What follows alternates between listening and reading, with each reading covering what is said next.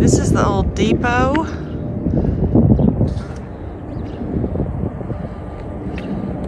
This is where the Chamber of Commerce is, and then they have a visitor center and museum.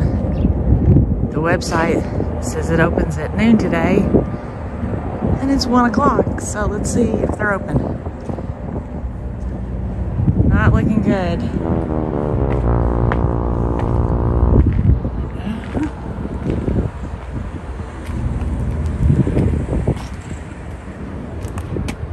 It's Sunday. It's one o'clock, and they're not open. Oh well, at least they have this little train park that is connected to the Depot Museum, and it is open, and we can go and check that out. And look, they have like little trains in the summer for the kids that go around. We'll have to come back. We're definitely going to have to come back here since everything's closed today. And I am really trying hard not to let this get me down. I am not going to have a bad day. I love trains. I'm obsessed with them, and especially cabooses. I think it would be so cool to actually get a caboose and turn it into like a little tiny house. I think that's like my dream. I would love that. Let's go check this one out.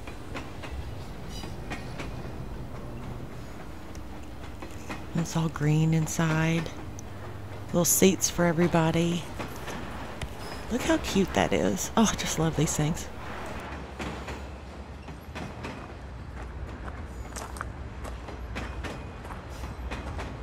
Well, and look at this white one. That one's interesting. It's got a little area that kind of juts out.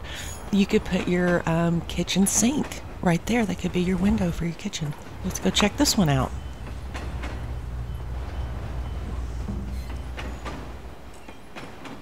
Well, I don't really like this one. It doesn't look like it's got a lot of space. Let's go in this one. This one is super rusty. Actually, they're all kind of rusty.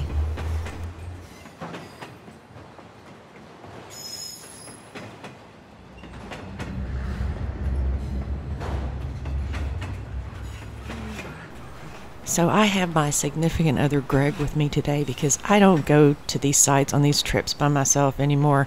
It's not safe. And we both thought we were going to be able to get inside of that sucker and look at it, but unfortunately it's all boarded up because as you can see, it's super rusty. Yeah. Well, I'm sure they don't want people in there. But you guys, I wanted a better view, so I'm going to get on top of these rocks.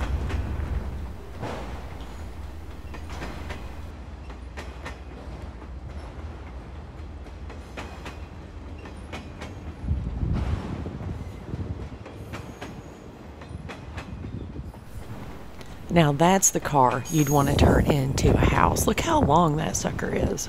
Snow. right? That is snow. I love it. I love watching it. I love watching trains plow through snow. Oh, I just love trains anyway. I could watch a train just go down a concrete sidewalk. Oh, I would love to go in there and have a drink. Nice little glass of wine. Listen to some jazz music here on the river.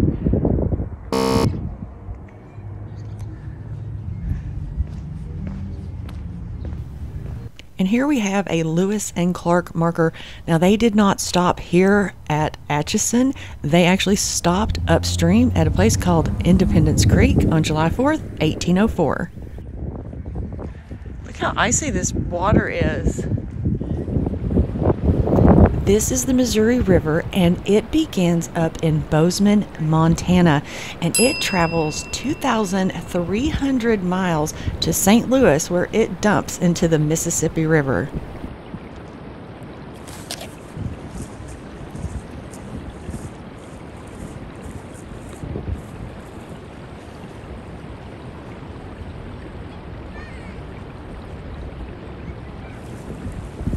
I wonder how far those chunks of ice go before they actually melt. Do they make it all the way down to New Orleans? Well, this is kind of cool. This looks like a piece off of the USS Arizona. Now, that ship was bombed in Pearl Harbor on December 7th, 1941. And I guess that is a little area where you can actually touch it. I'm not sure, and I honestly I don't know what type of piece this is either.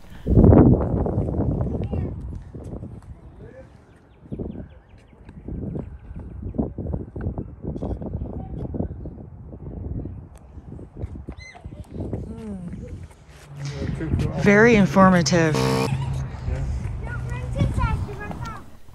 And that number, 1,177, that's how many sailors perished on the USS Arizona.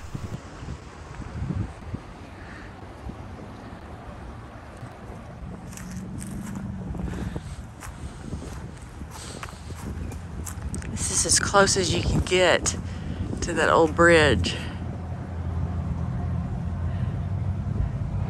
And then there's a really old house.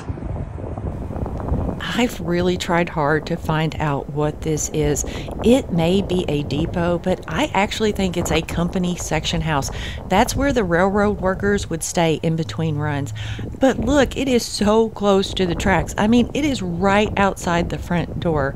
One thing's for sure when we come back up here and I get into that museum, I am going to ask about this place. We've come to the downtown area, and I gotta say, its storefronts are not empty. Sometimes you come to these little towns, and the downtown area is not being utilized, but not here in Atchison. And this town was incorporated on August 30th, 1855, and it has some amazing houses, some amazing architecture. And I thought we could take a real quick spin and see a few of those.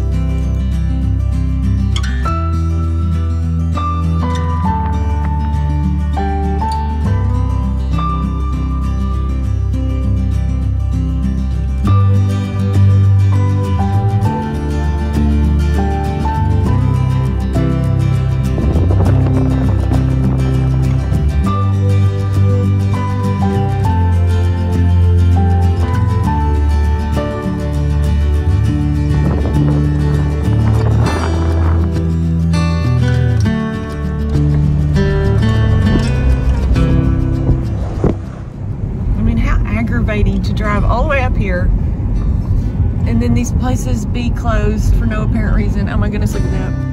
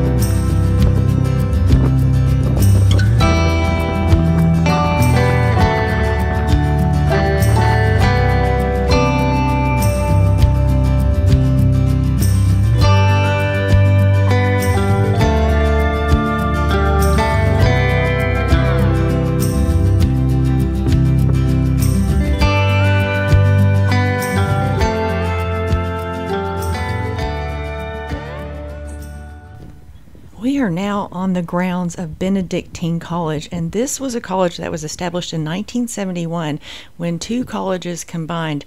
It was St. Benedict's College for Men and Mount Scholastica College for Women. This abbey has 53 Benedictine monks, and it is the most peaceful place on earth, according to Mildred Ebner. I don't know who she is, but she's right.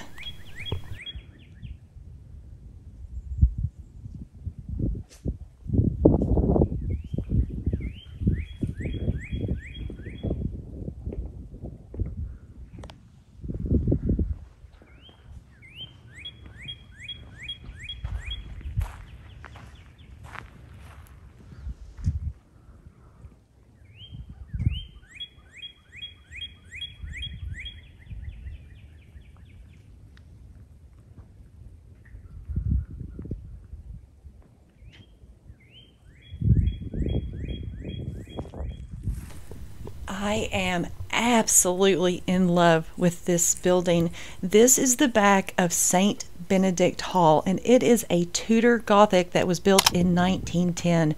And on the bottom floor, they have their theater arts department, and that includes a 135 seat theater. And then on the upper floors, they have various administrative offices, classrooms, conference rooms. This is absolutely beautiful. Wow. Now I've already done a video on this Kanza Lodge and if you'd like to see that I'll leave a link at the end of the video. But what I'm showing you here, and this was an amazing place by the way, what I'm showing you here is their beautiful markers. Again, they are on point with the markers and letting you know. Look, look at that. That's all I need to know right there. That's it. We can leave now. I thought we would end our day up here at the Amelia Earhart Birthplace Museum. Now, it's closed. I knew it was closed. I never had any intentions of going to it. Um, there's actually a new museum. It's called the Amelia Earhart Hangar Museum, and I was waiting for that to open before we went to both of these. But there are some really cool houses up here. It's a nice little house, too.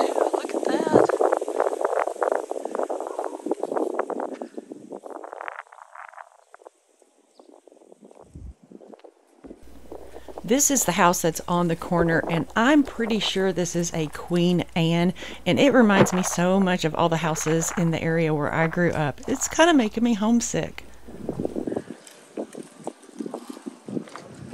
Just a neighborhood of really cool houses, including Amelia Earhart's birthplace. And I'm gonna be really mad and upset with myself because I got nobody else to blame.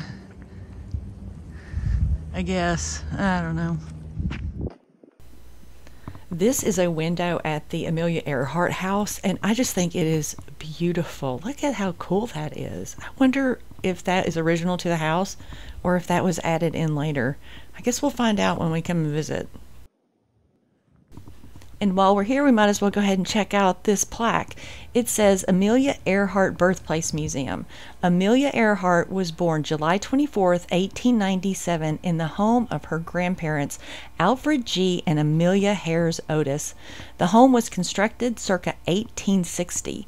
The Birthplace Museum is owned by the 99s Incorporated, international organization of women pilots. That's cool.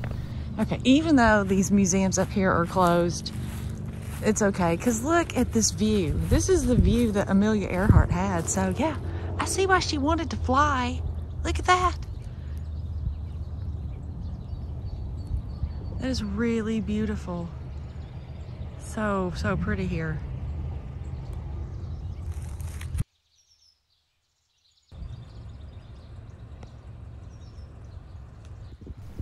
Well, this little adventure didn't turn out so bad. Not as bad as what I expected the first thing when we got here. Don't forget to hit the like button because I'm sure you learned something today. I did. See you guys next week.